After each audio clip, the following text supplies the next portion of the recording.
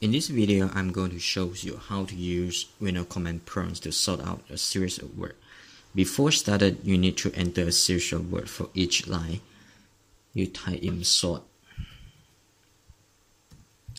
Um, for example, I type in country name for seven lines like England, Australia, China, Finland, Russia, Italy, Indonesia.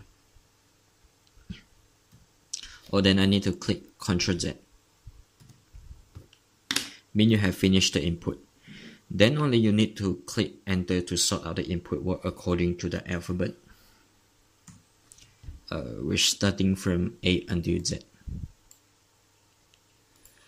If you would like to sort out a certain text file, you can type in sort followed by the, the, the file name.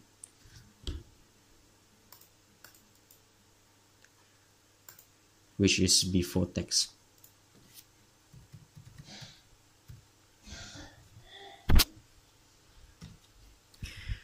but you realize that the result will only show on command prompts but not the original file the original file contents uh, remain unchanged. However, there is another way to save all the output in another text file. You can type sort followed by the original text file which is uh, before text. The next is after text. Then you click enter then you go to the after after text file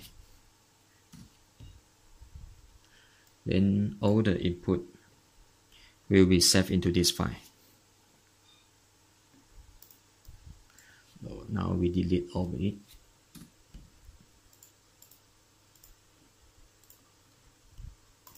Uh, how about if you would like to sort out the content according to read reverse order you just need to add on slash r